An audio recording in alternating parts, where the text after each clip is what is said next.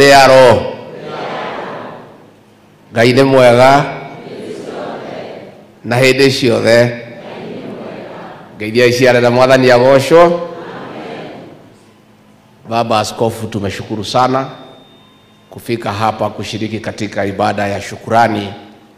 Huyu ps wetu Esther Moria akirudi nyumbani kusema asanti kwa Mwenyezi Mungu kwa yale mema amemtendea kwa kupata nyadhifa ya kuwa katibu katika serikali yetu tukufu.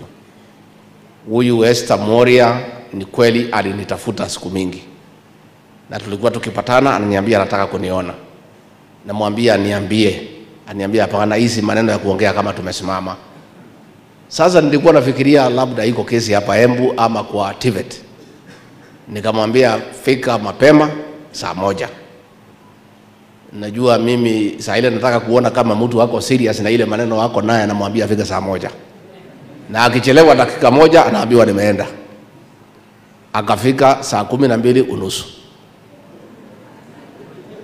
hata sikuwa nimetoka kwa nyumba kwenda kwa ofisi, nikasema akuje kwa nyumba, tukakunywa chai hapo na Pastor Dorcas. Nikamwambia ehe, ulikuwa unanitafuta? Akaniambia mimi classmate, niko na shukurani kwa Mwenyezi Mungu kwa yale mema amenitendea. Mimi sikuwa na habari nitakuja kupata nafasi ya uongozi katika Kenya, na mimi roho yangu, tukiongea na familia yangu, najisikia ya kwamba ningetaka kusema asante kwa Mwenyezi Mungu, na nikamwambia wewe sasa uko kwa ile barabara inatakikana, kwa sababu kwa wale kumi waliponywa na Yesu, ni wangapi warudi kusema asante? Sasa nikamwambia wewe umekuwa mmoja.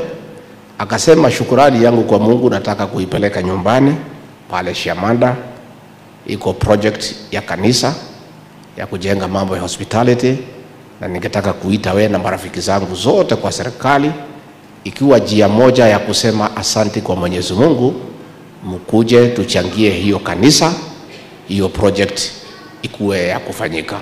Kwa hivyo nikamwambia tutakuja, tukaweka leo tariki kumi mwezi wa tatu, na tunashukuru Mwenyezi Mungu ametulinda, ametuchunga, tumepata nafasi ya kufika hapa. Kwa hivyo PS, nataka kusema asante kwa kukumbuka kusema asante kwa Mwenyezi Mungu, mpigie makofi. It is also true, mimi nilisoma na huyu PS. Unajua, wakati nilikuwa running mate, rais alipotipatia nafasi ya kuwa running mate, watu wengine walikuwa wananionea sana na wengine kunidharau kwa sababu mimi ni mtu, unajua Kiingereza yangu iko chini kidogo. Mimi ni mtu tu jua kali tu, Mungu amenisaidia. Mimi ni mtu tu ya kijiji, sina maneno mingi, sina kisugu mingi, sina nini. Sasa wengine walikuwa nafikiria mimi bado soma. Sasa kama kuna mtu yoyote angali anafikiria mimi sikuenda university, shahidi ni huyu Esther Moria. Na pia kama angemwambia mimi nilikuwa na shida yeye kwa masomo, mimi nilienda pale, lakini wale watu walikuwa wanafikiria mimi bado soma. Ile siku tuliwekwa debate na Martha Karua, nikafika pale, simuliona? Eh, siku hiyo wale walikuwa wanasema oh, huyu mtu bado soma, wakawachana na hiyo maneno, nikanyorosha Kiingereza sawasawa sawa. Unajua hii Kiingereza si ya kutumiwa kila siku, uiweke kwa ile siku inatakika. Sasa yangu yote nilikuwa nimewacha nitumie siku hiyo. Sasa sasa mkiona tumenyamaza, si ati sisi ni wajinga, hapana, ni kwa sababu hatutaki kusumbua raia na kisugu mingi na mavokabulari mingi na majina gumu gumu, lakini siku hiyo Kiingereza inatakikana ile vocabulary mimi niko tayari. The day proper English is required. And all the vocabulary in the dictionary, mimi niko tayari. Lakini mimi sasa nikija hapa, iko haja ya Kiingereza mingi hapa Shamanda? ithithiraria ĩmwe ithe ndirĩ mũndũ wanyu. Tungiaria lugha turaiguithania ri he mahitia he mundu tuhitiirie koguo ithuĩ turekwo tuikare ũrĩa tũhiana andũ a mendaga gå ikara marä a hå thå rä marekwo maikare na ũhũthũ wao. Arĩa matendaga mwĩtĩo na mũthũnũrũ rĩ marekwo maikare matarä na mwĩtĩ? Andå a gwä tä ra andå andå a gwä thå nå ra mathiä na mbere.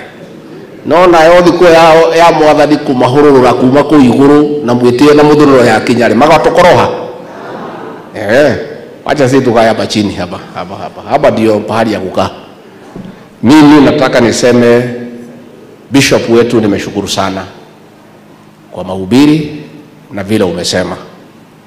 Na nimefurahi unanisikizanga. Na umerudia vile nilisema siku ya inauguration. Mimi niliongea pale kasarani watu wakasema mimi ni mjeuri. Lakini kwa sababu mimi ni mtu ya ukweli niliona niambie wakenya ukweli. Nikasema huyu rais wetu amepata kenya imefilisika. Hakuna kitu.